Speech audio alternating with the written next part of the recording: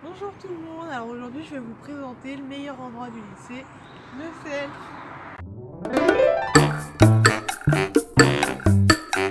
le